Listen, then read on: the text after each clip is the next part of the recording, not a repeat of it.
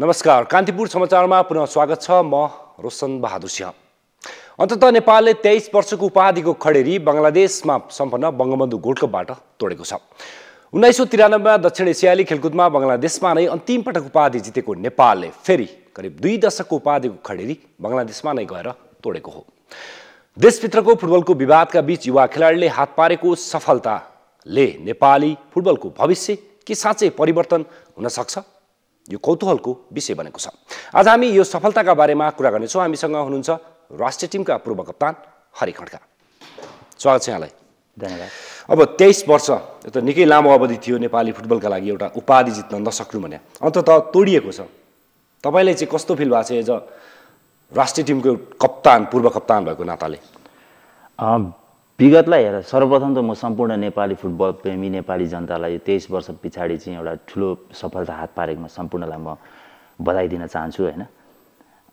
उहाँहरू पनि यसको हकदार हुनुहुन्छ। अर्को कुरो खडेरी तोडिएको सम्बन्धमा विगतमा पनि हामीले चाहिँ फुटबल राम्रो खेल्दा खेल्दै हारेको अवस्था थियो। किनभने फुटबल खेल्नको लागि गोल चाहिन्छ जित्नको लागि होइन? हार्नको लागि गोल खानु हुँदैन। सि सिम्पल एउटा सिद्धान्त। त्यसले गर्दा विगतमा हामीले चाहिँ गोल गर्न नसकेको अवस्थाहरू थियो। अहिले यो टुर्नामेन्टमा चाहिँ गोल गरेर जितेको अवस्था छ। त्यसले गर्दाखेरि त्यो खडेरी तोड्न चाहिँ अहिले हाम्रो स्ट्राइकरहरूको भनौँ समग्र एउटा कम्प्याक्ट टिम थियो होइन यङ टिम थियो फाइटिङ स्पिड भएको टिम थियो र स्कोरिङ पावर जुन हाम्रो नभइरहेको अवस्था थियो त्यसले गर्दाखेरि जिते जस्तो लाग्छ मलाई। तपाईँले भन्नुभयो एउटा फाइटिङ स्पिड भएको टिम एउटा गोल स्कोरर भएको। योभन्दा अगाडि हरेक टुर्नामेन्ट अथवा हरेक गेममा नेपाली स्ट्राइकरको निकै आलोचना हुने गर्थ्यो। अब त्यो सकिएको अवस्था देख्नुहुन्छ अथवा यो चाहिँ एउटा टुर्नामेन्ट एउटा सकियो यहाँ पछि लगतै अब साग छ फेरि दक्षिण एसियाली खेलकुद छ। फेरि पुरानै लय दोहोरिएला भन्ने सम्भावना पनि छ कि छैन? होइन स्ट्राइकरमा एउटा के हुन्छ भने एउटा लकले पनि ठुलो रोल खेल्छ होइन? त्यसले गर्दाखेरि स्ट्राइकरको तिनवटा सिद्धान्त हुन्छ एउटा right time right position right decision होइन?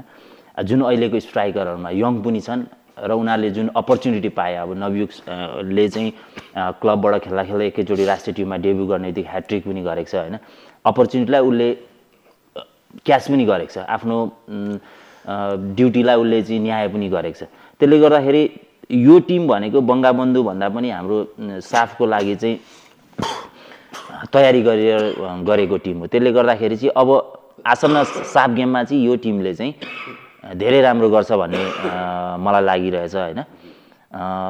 त्यसको बावजुद पनि अब यही टिमलाई चाहिँ किनभने यङ टिम छ यही टिमलाई चाहिँ कन्टिन्युटी दिनुपर्छ। राज्यले यस यसलाई चाहिँ लगानी गर्न चाहिँ कन्जुसाइ गर्नु हुँदैन। सम्बन्धित निकायले चाहिँ इन्टरनेसनल एक्सपोजरहरू दिनको लागि कन्जुसाइ गर्नु हुँदैन।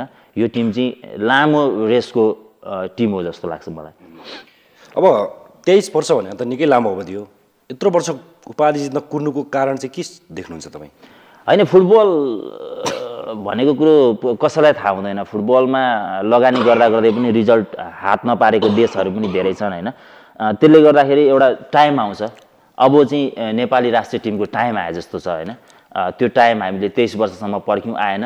अब अब स्टार्ट भयो जस्तो। अब यसलाई यसरी लिउँ। यो अब यो। टुर्नामेन्टले चाहिँ नेपाली फुटबलको एउटा गेमको हुन्छ नि प्लेयरको अथवा फुटबलकै भन्छ समग्र फुटबलको भविष्य के नयाँ मोड लिएको अवस्था देख्नुहुन्छ?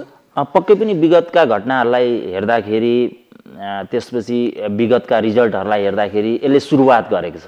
यो नै इन्डिङ पोइन्ट होइन। अब लगतै साफ गेम छ त्यसको लागि हामीले चाहिँ त्यसमा पनि फोकस गर्नुपर्छ। अल्टिमेटली हामीले चाहिँ साफ साउथ एसियनमै फर्स्ट टार्गेट गर्ने हो त्यो त्यसलाई हामीले ध्यान दिनुपर्ने हुन्छ। र अब अब फुटबलका तिता दिनहरू गए जस्तो मलाई लाग्छ होइन? मिठा दिन स्टार्ट भए जस्तो लाग्छ। अब राज्यले यसमा चाहिँ लगानी गर्न आवश्यक छ।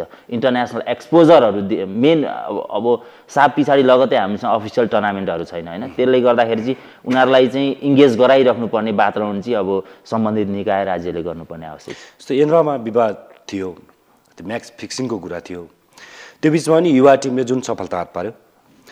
अब यो सफलतालाई चाहिँ तपाईँले भन्नुभयो सरकारले लगानी गर्नुपर्ने अवस्था छ भनेर। त्यही पनि अब एउटा कतै न कतै कता मिसिङ भएको अवस्था पनि देखिएको थियो। एउटा प्लेयरको हिसाबले अथवा जुन प्रशासनिक निकायमा भएको मान्छेको हिसाबले। अब चाहिँ के गर्दा चाहिँ आवश्यक राम्रो गऱ्यो भने चाहिँ ना ठिक होला जस्तो लाग्छ तपाईँलाई नेपाली फुटबल। एउटा सबभन्दा ठुलो कुरो हामीसँग इन्भाइरोमेन्ट छैन अझै पनि फ्रेङ्कली भन्दा एज अ। फर्मर प्लेयर होइन। राज्यले त्यो व्यवस्था गर्नुपर्छ। क्वान्टिटी क्रिएट्स क्वालिटी भन्छ नि। हामीले इन्भाइरोमेन्ट क्रिएट गऱ्यो भने धेरै खेलाडीहरू हामी उत्पादन गर्न सक्छौँ। अहिले एन्फाले गरिरहेछ शनिबारे कार्यक्रम त्यसलाई रेगुलरिटी दिनु पऱ्यो होइन। इन्भाइरोमेन्ट अनि त्यसपछि क्वालिटी प्लेयरहरू निक्लिन्छ। अनि अ, लिगको एउटा चाहिँ ढाँचा चाहिँ हामीले चाहिँ स्पष्ट अ, कोर्न जरुरी छ होइन। अब मफसलको टुर्नामेन्टलाई मात्रै हामीले ध्यान दिएर हुँदैन। अ, नेसनल टिम फर्म गर्ने भनेको आधारै अ, लिग हो। त्यसलाई गर्दाखेरि त्यसले गर्दाखेरि चाहिँ अ, वार्षिक क्यालेन्डरहरू चाहिँ स्पष्ट रूपमा चाहिँ एन्फाले बनाउन जरुरी छ होइन? अल्टिमेटली चाहिँ खेलाडीहरूको भविष्यकै कुरा आउँछ होइन? उनीहरूको इङ्गेजमेन्टको कुराहरू आउँछ होइन? त्यसले गर्दाखेरि यो दुई वर्ष अब अब यही टिमलाई चाहिँ कन्टिन्युटी दिने हो भने यो दुई वर्षमा चाहिँ हामीले धेरै चिज गर्नुपर्ने आवश्यक छ होइन? कि यो खेलाडीहरूलाई चाहिँ मर्न नदिनको लागि होइन? त्य- त्यसको लागि चाहिँ अब एन्फाले चाहिँ एउटा स्पष्ट धारणा चाहिँ स्पष्ट प्रोग्रामहरू को कोर्न चाहिँ जरुरी छ जस्तो लाग्छ मलाई। अब चाहिँ बालगोपाल महर्जन कुराहरू। उन्नाइस सौ तिरानब्बेमा नेपालले सागको उपाधि जित्दा प्लेयर थिए। अहिले कोच भएर उपाधि दिलाउनु भएको छ। यसलाई उहाँको एउटा लक भनौँ कि साँच्चीकै मेहनत जस्तो लाग्छ तपाईँलाई? होइन यसमा कुनै शङ्का छैन उहाँ एकदमै मेहनती कोच हो होइन। फुटबलमा डेडिकेटेड कोच हो होइन। त्यसमा कुनै पनि शङ्का छैन। फुटबल फुटबल मात्रै नेपालमा चाहिँ कोचेसहरू फुटबल अब राष्ट्रियले के दियो कति लगानी गर्यो भन्दा पनि फुटबल नसा नसामा छ होइन? त्यसले गर्दाखेरि डेडिकेटेड कोच हो। अनि अर्को कुरो लक लक त चाहिन्छ होइन? किनभने लक भएन भने मान्छे कतिपय कुराहरूमा मेहनत गर्दा गर्दै पनि मेहनतको लकलाई चाहिँ मेहनतले फेभर गर्छ जस्तो साथ दिन्छ भन्छन्। अनि तिरानब्बेमा बाललाई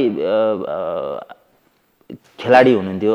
फेरि त्यसपछि लगत्तै उहाँले चाहिँ युथ नाइन्टिन चाहिँ साफ च्याम्पियनसिपमा पनि होइन बाइस वर्ष पछाडि चाहिँ तपाईँको चाहिँ उपाधि दिलाउनु भयो लगत्तै अब त्यसपछि विदेशी कोच आयो। आइसकेपछि फेरि अहिले चाहिँ एन्फाले एउटा कस्तो भने एउटा टेक्निकल ग्रुप बनाइदिनु भएको छ। त्यो राम्रो कुरो हो नेपाली फुटबलको लागि। एन्फाले पनि सरसल्लाह लिएर चाहिँ कसलाई कोच राख्दाखेरि राम्रो हुन्छ भन्दा एन्फाले चाहिँ त्यो डिसिजन एकदम राम्रो लाग्यो होइन? बालदाईको हातमा चाहिँ जुन राष्ट्रिय टिम दियो त्यसलाई बाल बालगोपाल दाईले न्याय पनि गर्नुभएको छ होइन? एन्फाले चाहिँ अब नेपाली कोचेसहरूलाई नै प्रमोट गरेर टेक्निकल कमिटी एउटा चाहिँ डेभलप गरेर उहाँहरूलाई नै चाहिँ तपाईँको चाहिँ रिफ्रेसमेन्ट्स कोर्सहरूमा चाहिँ पढाइरहेको छ। किनभने नेपाली कोचहरूलाई जति नेपाली खेलाडीहरूको बारेमा थाहा हुन्छ त्यो चाहे पर्सनल होस् चाहे प्रोफेसनल होस् होइन? त्यति विदेशी कोचलाई थाहा हुँदैन। विदेशी कोचहरू आउँछन् आफ्नो बायोडाटा बनाएको जस्तो लाग्छ। मलाई चाहिँ है मेरो पर्सनल कन्सेप्ट म गलत पनि हुन सक्छु होइन? त्यसले गर्दाखेरि अब गोरो छाला भन्दा चाहिँ नेपाली छालालाई चाहिँ अलिकति विश्वास गर्ने हो कि भन्ने दिन चाहिँ त्यो बाली दाई बालगोपाल दाईले चाहिँ क्रिएट गरिदिनु भएको छ होइन? त्यसको लागि अब बालदाईलाई बालदाईको टिमलाई तपाईँले भन्नुभयो विदेशी कोच आउँछन् आफ्नो बायोडाटा बनाए जस्तो अब बिचमा धेरै विदेशी कोचहरू पनि आउनुभयो होइन? अब लास्ट टाइम प्याट्रिक सेम्स आउनुभएको थियो। तर उहाँले पनि नेपाली फुटबलको आलोचनै गरेर जानुभयो अन्तिममा। तर अब अब चाहिँ के विदेशी कोच आवश्यक छ अथवा नेपाली कोचले पनि सक्छन् नेपाली टिम सम्हाल्न? होइन आवश्यक छैन चाहिँ भन्न मिल्दैन छ होइन? तर नेपाली कोचमा पनि त्यो क्वालिटी छ भन्न खोजेको।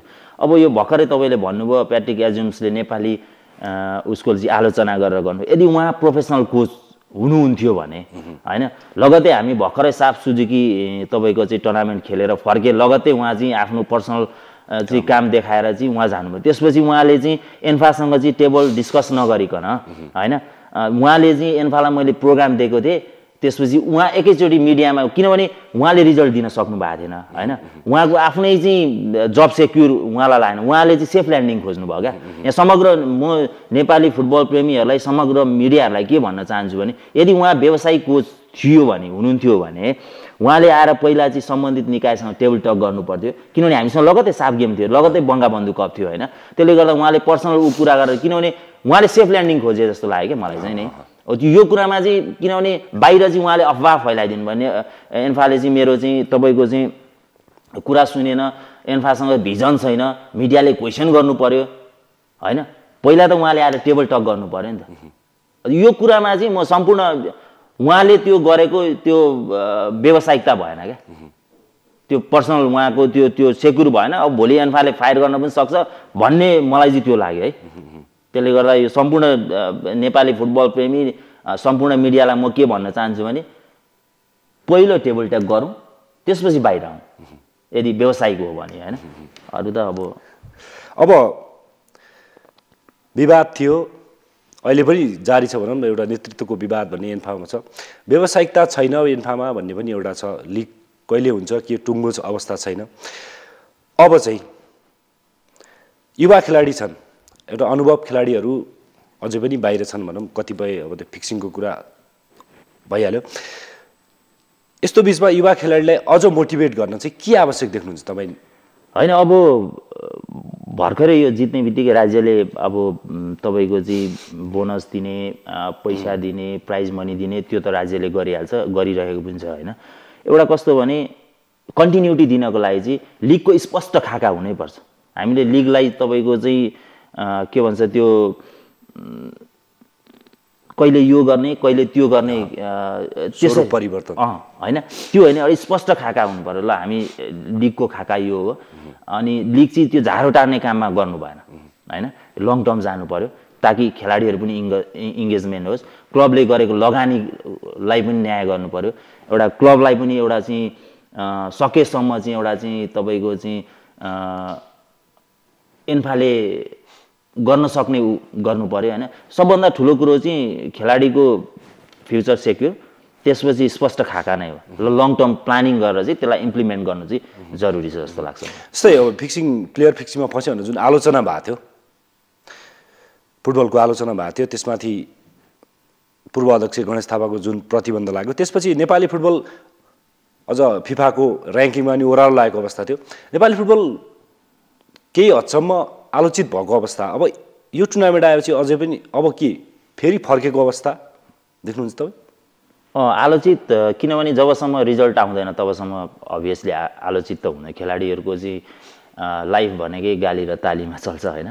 त्यसले गर्दाखेरि जित्दाखेरि तपाईँको ताली हुन्छ हार्दा गाली किनभने त्यो एउटा माया हो सम्पूर्ण दर्शकहरूको सम्पूर्ण खेलप्रेमीहरूको होइन? त्यो माया भएन भने फेरि खेलाडी जिउन पनि सक्दैनन्। त्यो एउटा आधार हो। अब फर्कियो भन्नाले यसलाई अफिसियल टुर्नामेन्ट माने पनि हाम्रो टार्गेट भनेको अल्टिमेटली साफ नै हो होइन? साग नै हो। त्यसले गर्दा त्यसलाई ध्यान दिनु जरुरी छ। यो फर्स्ट स्टेप हो हामीले पार गऱ्यौँ अब यसलाई कन्टिन्युटी दिनको लागि चाहिँ त्यो आधारहरू तयार गर्न अझ बाँकी छ होइन? अब आलोचनाको बिचमा पनि अहिले जुन टिमले चाहिँ एउटा रिजल्ट दिएको छ त्यो चाहिँ ठुलो एउटा चाहिँ सम्पूर्ण नेपालीहरूलाई चाहिँ यस्तो अवस्थामा देश नै अब एउटा पीडामा गुज्रिरहेको अवस्थामा चाहिँ त्यो खुसी हाम्रो टिमले दिएको छ होइन? टिमका सदस्यहरूले दिएको छ। अब छ अझै बाँकी धेरै गर्न बाँकी छ। तपाईँले भन्नुभयो अल्टिमेटली हाम्रो टार्गेट भनेको साग हो भन्नुभयो। तर अब सागमा नै अहिले जुन उपाधि बालगोपाल महर्जनले दिलाउनु भएको अवस्था छ सागमा त कोच फेरि परिवर्तन हुने अवस्था देखिया छ। राजु काजी साके साग हेर्दै हुनुहुन्छ। कतिको फरक पर्ला यो प्रदर्शन? होइन किनभने राजु दाईलाई पनि नेपाली खेलाडीहरूको बारेमा थाहा छ। अल्टिमेटली अहिले खेलाडीहरू चाहिँ यङ भएको कारणले गर्दा अन्डर नाइन्टिनकै बेसिकली टिमहरू बाललाई पनि इङ्गेज भइरहेको। अब तपाईँले भन्नुभयो राजु दाई पनि मेहनती कोच हो। होइन बाललाई अब त्यसमा कुनै शङ्कै छैन। मेहनती प्लस लकी कोच पनि हो। होइन फरक पर्न सक्छ।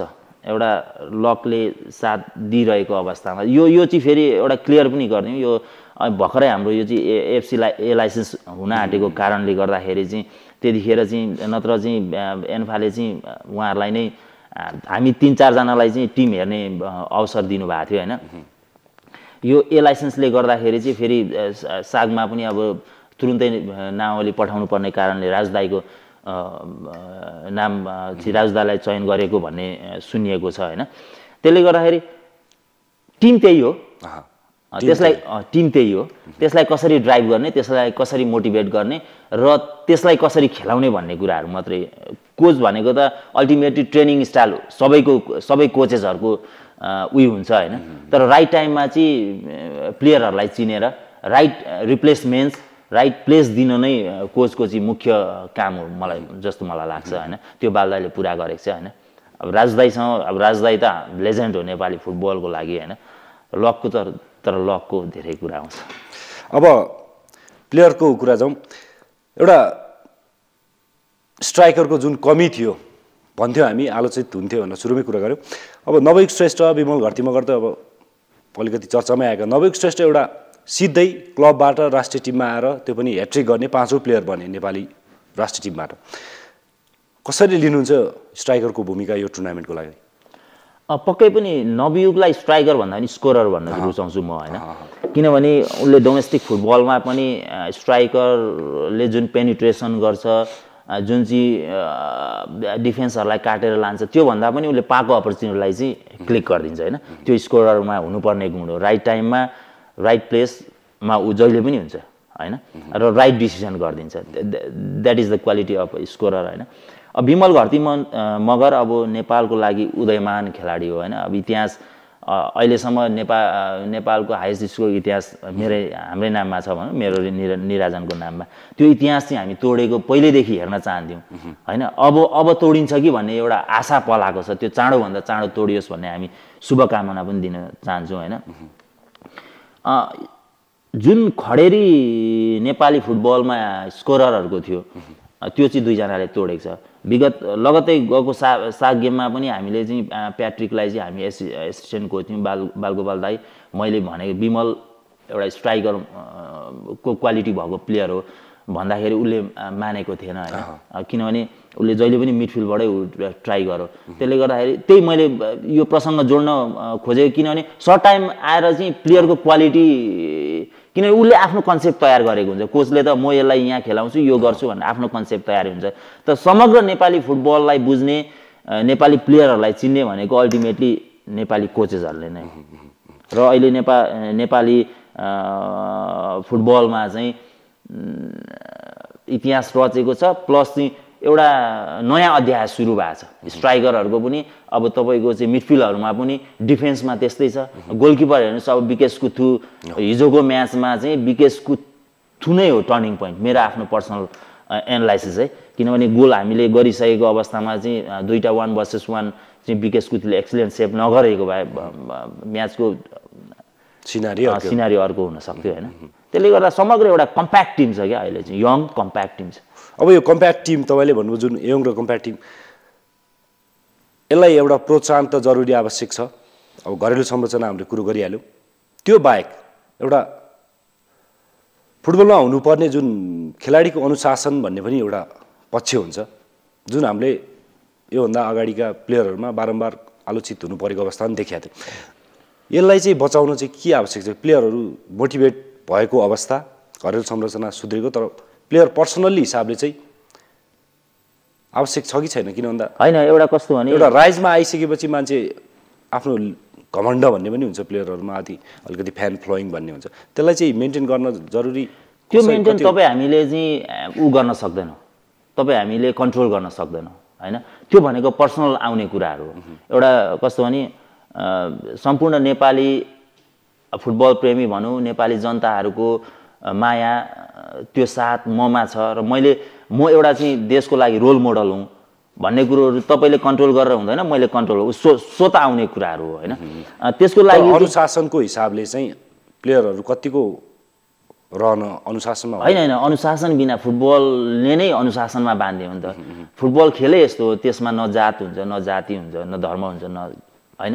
त्यो त्यो अनुशासनले बाँधेको हुन्छ क्या त्यो सबै। किनभने त्यहाँ टेक्निकल डिसिप्लिनका कुराहरू आउँछन् र बाहिरी आउट डिसिप्लिनका कुरा हुन्छ। आउट डिसिप्लिनमा तपाईँको चाहिँ अब आफ्नो लाइफ स्टाइलका कुराहरू आउँछन् होइन? अब टेक्निकल डिसिप्लिनमा तपाईँको ग्राउन्डभित्रको कुराहरू आइहाल्यो।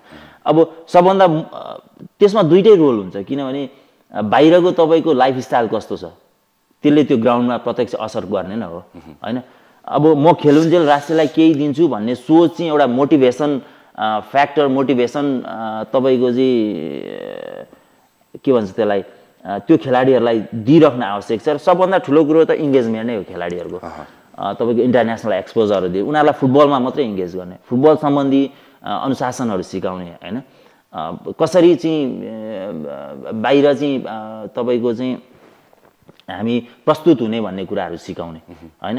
त्यो चाहिँ इङ इङ्गेज गराइराख्यो भने मात्रै। फेरि अब तपाईँको माइन्ड फ्री भयो भने तपाईँले अनेक कुराहरू सोच्छ नकारात्मक कुराहरू पनि आउन सक्छ होइन। त्यसले गर्दाखेरि फुटबल फुटबल फुटबलै हुनु पर्यो अब पोइन्ट वाइज भन् पोइन्ट वाइज भन्दाखेरि प्लेयरलाई इन्गेज गर्न ल भनौँ एक हिसाबले सरकार गम्भीर हुन आवश्यक ठान्नुहुन्छ। पहिलो कुरा। त्यसपछि घरेलु संरचना भयो।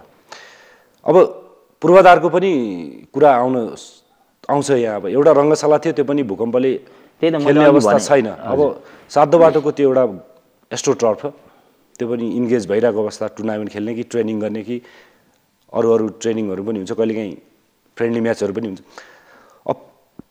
घरेलु संरचना परिवर्तन गर्न त पूर्वाधार पनि चाहिएको अवस्था हो नि त। मैले इन्भाइरोमेन्ट भन्नुको कारणै त्यही हो फुटबलको इन्भाइरोमेन्ट भनेको इन्फ्रास्ट्रक्चरहरूदेखि लिएर सम्पूर्ण जबसम्म तपाईँको इन्भाइरोमेन्ट बन्दैन भनेपछि इन्फ्रास्ट्रक्चरहरू बन्दैन। तपाईँको चाहिँ खेल्ने ठाउँहरू पर्याप्त मात्रामा हुँदैन। तबसम्म हामीले प्रोडक्सन गर्न सक्दैनौँ। जबसम्म हामीले धेरै मात्रामा चाहिँ प्रोडक्सन गर्न सक्दैनौँ तब तबसम्म हामीले चाहिँ क्वालिटी तपाईँको चाहिँ प्लेयरहरू निकाल्न सक्दैनौँ। त्यसले गर्दाखेरि राज्यले अब भनौँ न अब यहीँ हाम्रो छिमेकी राष्ट्रलाई हेर्दाखेरि प्रत्येक स्टेटमा तपाईँको चाहिँ रङ्गशाला छ। हामीसँग चाहिँ एउटा चाहिँ तपाईँको चाहिँ राष्ट्र अन्तर्राष्ट्रिय स्तरको एउटा रङ्गशाला छैन हामीसँग। होइन? भनेपछि राज्यले खेलकुदलाई हेर्ने जुन दृष्टिकोण छ त्यो जस्ताको त्यस्तै छ। त्यसलाई परिवर्तन गर्न जरुरी छ। एउटा यो खेलकुद मात्रै तपाईँको चाहिँ यस्तो क्षेत्र हो चाहिँ तपाईँको चाहिँ सुरक्षा पछाडि सबभन्दा धेरै लगानी गर्ने त खेलकुदमा हो नि। तर राज्यले चाहिँ खेलकुदलाई एउटा खेल्ने एउटा चाहिँ त्यसरी मात्रै हेरेको दृष्टिकोण छ होइन? समग्र एउटा देशको चाहिँ नेगेटिभ म्यासेज गइरहेकोलाई चाहिँ अहिले सम्पूर्ण पोजिटिभ म्यासेज केले दिन्छ भन्दा खेलकुदले दिन्छ। दृष्टिकोण जबसम्म राज्यको फरक हुँदैन तबसम्म हामीले चाहिँ यो गरौँ त्यो गरौँ भनेर केही पनि हुँदैन। राज्यको हेर्ने दृष्टिकोण खेलकुदलाई फरक हुनु पर्यो इन्भाइरोमेन्ट क्रिएट गरिदिनु पर्यो राज्यले। त्यो राज्यले नै गर्ने। होइन? त्यो पर्सनल अब अहिले लागिरहेछ। तपाईँको भर्खर अस्ति अब कुरा निकालिहालौँ फुटसल अ, बन्द भयो। होइन? निकाल्नु त नहुने होला निकालिहालौँ होइन? फुटसल बन्द भयो। फुटसलले तपाईँको इन्भाइरोमेन्ट नभइरहेको अवस्थामा एउटा प्राइभेट तपाईँको लगानी गरेर फुटसलले पनि त्यहाँनिर चाहिँ प्लेयरहरूलाई चाहिँ तपाईँको ट्रेनिङदेखि लिएर टेक्निकल स्किल सिक्नको लागि डेभलप गरिरहेको अवस्था। राज्यको हेर्नु न त्यहाँ हेर्ने दृष्टिकोण हेर्नु। होइन? हो त्यो हेर्ने दृष्टिकोणमा चाहिँ फरक आउन जरुरी छ। हस् त यहाँ सुभाइदिनु धेरै धेरै धन्यवाद। धन्यवाद कान्तिपुर टेलिभिजनलाई। उहाँ हुनुहुन्थ्यो राष्ट्रिय टिमका पूर्व कप्तान हरि खड्का। हामीसँग कुराकानी गर्दै कान्तिपुर समाचार जारी रहनेछ कान्तिपुर टेलिभिजन। हेर्दै गर्नुहोला। नमस्ते।